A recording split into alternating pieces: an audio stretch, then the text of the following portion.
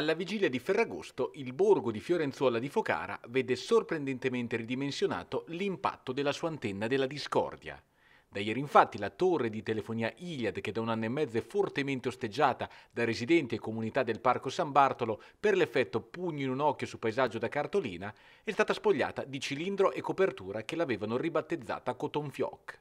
L'antenna rimane dov'è, ma con un effetto ottico meno invasivo.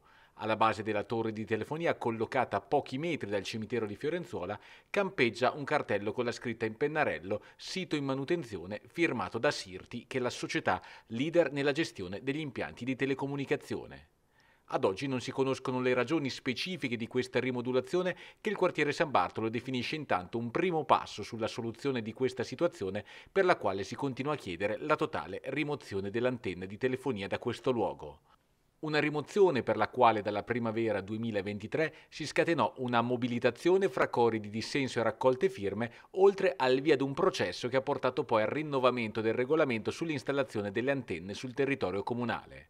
Una battaglia che quartiere e comunità del parco vogliono continuare non accontentandosi del compromesso attuato in questo mese d'agosto.